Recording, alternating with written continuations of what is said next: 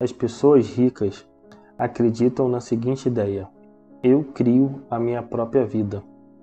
As pessoas de mentalidade pobre acreditam na seguinte ideia: na minha vida as coisas acontecem. É o que a grande maioria das pessoas pensam, né? E por isso estão onde estão.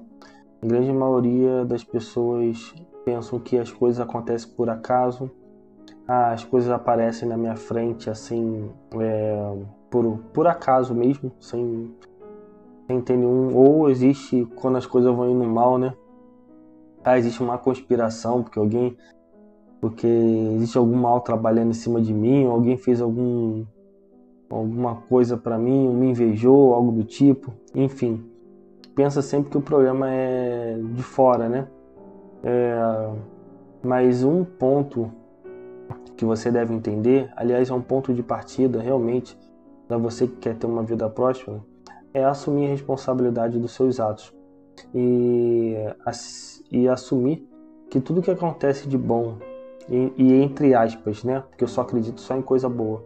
E tudo que continua na frase, tudo que acontece de ruim é sua responsabilidade. Se você começar a encarar a vida dessa forma, sem auto se vitimar, você assumir responsabilidade por tudo que acontece, já é 50% do caminho. Aí você se torna um adulto, né? Não deixa de ser criança emocionalmente falando, tá? E em conjuntamente entender que não só você é responsável, como você cria exatamente como está acontecendo, aquilo que está acontecendo na sua vida. Porque o que está acontecendo lá de fora, ele é reflexo de todos os seus pensamentos. Como eu já dei esse exemplo já diversas vezes, se você hoje é, decidir, por exemplo, frequentar um, uma academia, os seus amigos vão mudar, a sua rotina vai mudar. E por que, que alterou o ambiente externo? Alterou por causa do pensamento que você teve e você colocou em prática. Lembra que eu falei? Como é que é o processo de manifestação e criação? Como ocorre o processo de manifestação? Primeiro você tem um pensamento, depois você tem um sentimento e depois você tem a ação. É por isso que eu te falei, eu falei para vocês que pensou, criou, pensou, criou. E dou essa dica várias vezes para vocês, já falei em vários vídeos, eu venho repetindo.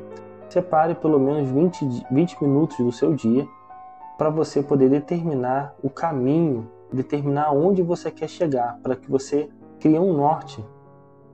E aí trabalhe em favor disso, mas sem aquela pressão de que tem, tem que dar certo. E deixe o fluxo de energia passar por você. Por que, Thiago? Ué, porque, tipo, se você escolher, né, se você definir onde você quer, onde você quer chegar, não necessariamente você vai conseguir isso pelo caminho que você está imaginando ou vai conseguir exatamente o que você está tá pedindo. Por quê? Lembra que eu falei? Tudo é dado por Deus pela centelha divina.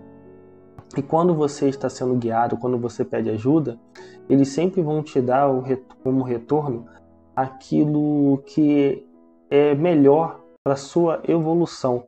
E eles sempre dão muito mais do que você pede. Então pode esperar que não vai dar pouca coisa, não. Vai ser muita coisa mesmo. Vai ser acima do que você está pedindo. Como é acima, e como essa questão de, de dinheiro é uma coisa tão pequena, o mais importante é a elevação da sua consciência, muitas vezes você tem que passar por umas outras coisas para fortalecer o teu espírito, para você aprender uma série de questões antes de você chegar no seu objetivo. E às vezes, quando você chegar lá, você vai receber muito mais do que você imaginou. Espero que tenha ajudado. Gratidão.